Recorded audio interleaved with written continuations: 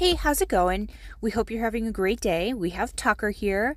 Um, all I'm doing is starting with some simple engagement, and engagement is an incredible thing. We advise that you do it in as many places as possible because it is the basic foundation of a training session. If he's not paying attention to you, how are you going to get anything done, right?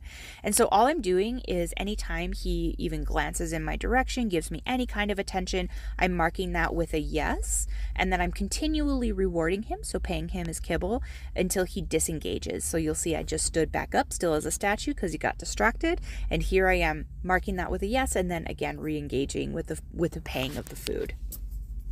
This is doing a couple of different things. So, first, this is going to make the difference of a dog that you have to check in with regularly versus a dog that checks in regularly with you. You know, this is the basic foundation of showing him that his behaviors is what's driving the production of the reward, not the other way around. This is also showing him that you're his source of excitement, right?